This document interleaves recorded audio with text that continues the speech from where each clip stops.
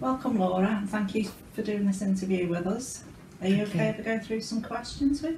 Yeah, of course. Okay. So, when did you know you were autistic? Um, I knew from a very early age I was autistic. Um, I was about six or seven years old, had to grow up very quickly. Um, and so therefore my brain developed quickly-ish. Um, I had, uh, yeah, I had a very abusive past, so I had to grow up very quickly. So, what effect does autism have on your life? Autism affects my life uh, through sensory processing. Um, the way I see the world is not the way the world is. To a neurotypical person, um, the world is is either black or white. Uh, sorry, the world to a, um, a neurotypical person is it has a grey area in it. Um, but I don't do grey. I'm, I'm either black or white. Okay. Yeah. So, what do you prefer, being called autistic or person with autism? Autistic. Okay, and why is that? Uh, because I, I fought for 40, I was 42 um, when I received my diagnosis. I, I should have been helped along the way by my parents, but my parents were not able or didn't want to support me in this. Uh, they just thought I was a naughty child. Um, so I had to fight for everything, and I still am fighting for things that should have been um, done when I was a child. Um, How did you get on at school?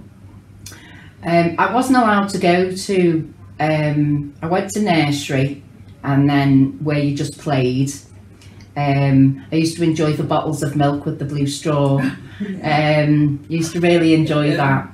Um, and I was given that because I was the school um, at the time thought I was low in nutrition. Um, but uh, as I've just said, my parents abused me, so I I just I wasn't allowed to go to a primary school because we kept moving all the time. Um, the schools didn't know I existed, the benefits didn't know I existed um, until I went to a secondary school in Liverpool, the Merchant Taylors School. Um, that's when they, they, they found out that I had a very low learning ability and should they, the care system I was in at the time said that I shouldn't have been in mainstream education. Okay. So, how does anxiety affect you? Um, anxiety is with me all of the time. Um, you wouldn't know probably, but I'm actually an- very anxious right now. You probably know Michelle because you're because you know, but um, I think anxiety presents itself to me in different ways. I shout, scream, I cry, um, I shake, and I don't want to be around the person who's making me ang- ang- very anxious. Okay. So, what makes you feel better? A hug. I love hugs. Um, I love snuggles, and I have um, I have a twiddler. Um, one of the staff who supports me um, here at Autism Together. Um, We even brought it today. I have it in my Oh, pocket. Oh, yeah. okay. But do you want me to get it out? No, it's fine. Just Just, um, Yeah. so um, yeah, I have a um, the the person that supports me actually named it a twiddler because yeah, so it's lots of different ribbons with different um, sensory bits on and silky bits and crispy bits and yeah, and I stuck my thumb as well. Wow. So, what are positive things about being autistic? Oh, I love positivity. Um, this, I'm glad I'm autistic because I see the world in a different way. So I can give um, a dip my opinion to. I, I, I see things that, pe- that people who, who aren't autistic or people who are neurotypical, um, I see things that they don't see.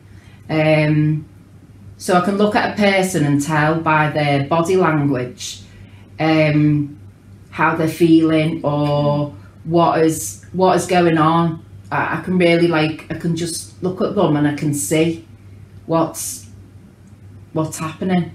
Um, even if they don't say, I can just I know that the, if they're in pain or I know if they're feeling anxious or and if I can make that better in any way, then I do. I know you're very good at reading emotions on people.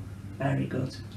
Thank you. are. So, do you think things have got better for people with autism? Not really. No.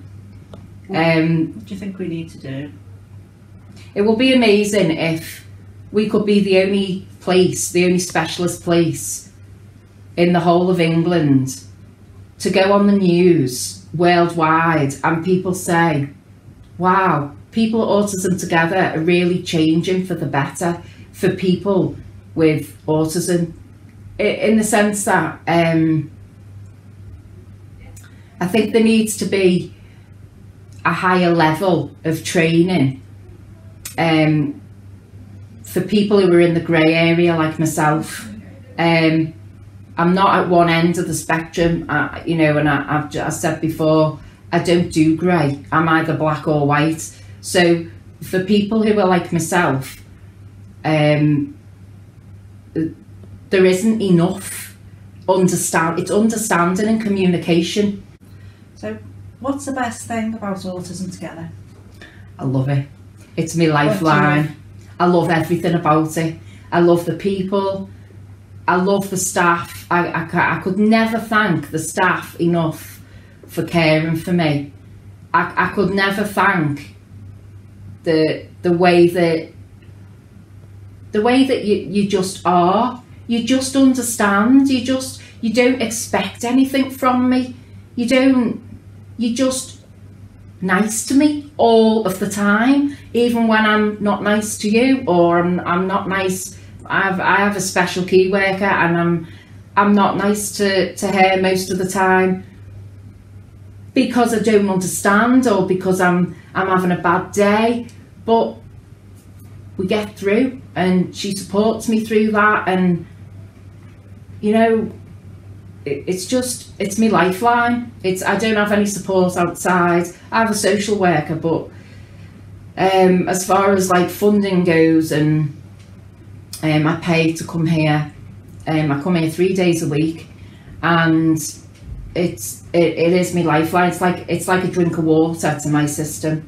It's like um it's better than taking any antidepressant. It's better than taking any pill that that tries to control ADHD or the symptoms of autism. Um, it's it's better than any of that. It's just it's just an amazing, happy place to be.